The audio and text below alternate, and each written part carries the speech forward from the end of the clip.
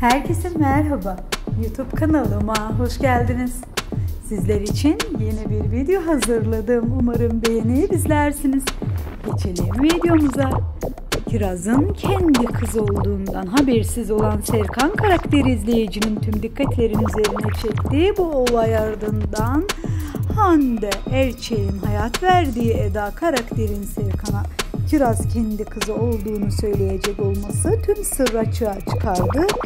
E, seyirci ise Kerem Bürsin'in canlandırdığı Serkan karakteri öğrenece, e, öğreneceği gerçeğin ardından Eda ile konuşmayacağını iddia etti arkadaşlar. Şimdilik benden bu kadar. Umarım videolarımı beğenip sona kadar izliyorsunuzdur canlarım benim. Hepinizi çok seviyorum. Kendinize iyi bakın. Bir dahaki videolarımda görüşmek üzere söylüyorum. Hoşçakalın.